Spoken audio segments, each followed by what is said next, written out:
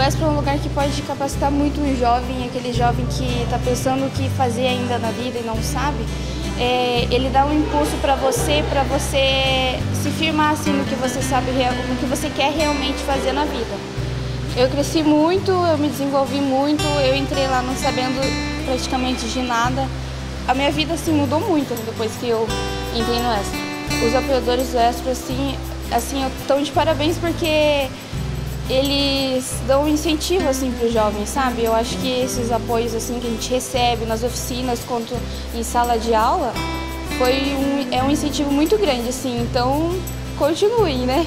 O ESPRO para mim na minha vida foi um divisor de águas.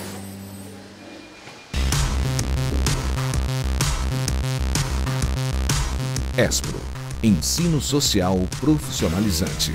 Educa, transforma, inclui.